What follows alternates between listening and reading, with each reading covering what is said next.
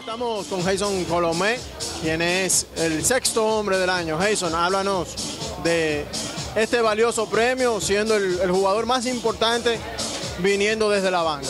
Primeramente, gracias a Dios por todo. Es un premio de sumamente importancia para mí, porque es mi primer año en la liga y es un premio que estaba lo estaba buscando, batallé para eso, entrené, físicamente para ese, para ese premio y algo más.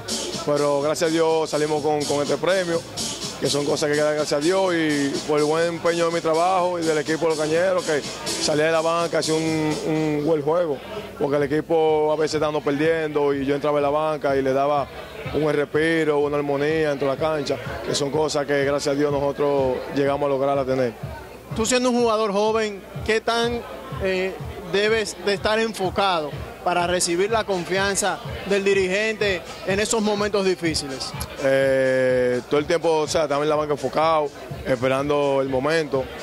Porque había veces que los jugadores, los compañeros de nosotros a veces se metían en foul, mala posición mía, y yo tenía que estar enfocado y estar preparado físicamente y mentalmente para entrar a hacer el trabajo. Estuviste hablando que trabajaste para recibir otro premio y me imagino que ese premio era el del novato del año.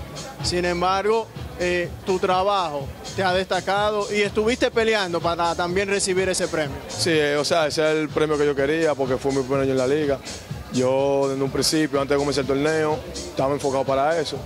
Y era ese que quería, pero batallamos, no se dio, pero gracias a Dios conseguimos el, el, el sexto hombre del año de la liga y fue otra cosa que gracias a Dios se dio.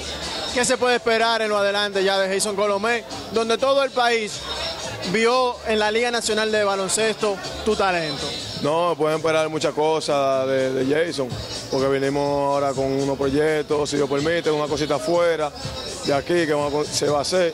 Y para el otro año vamos a estar mejor y más ready. Y vamos a ver si Dios permite, vamos a estar, no es todo hombre, vamos a ver, jugamos ya quinteto, si Dios permite el otro año, si Dios permite en esta liga. ¿A quién le dedicas el premio? A mi madre, a mi madre bella, que la quiero tanto y la amo. Gracias, Jason. Ok, igual. Música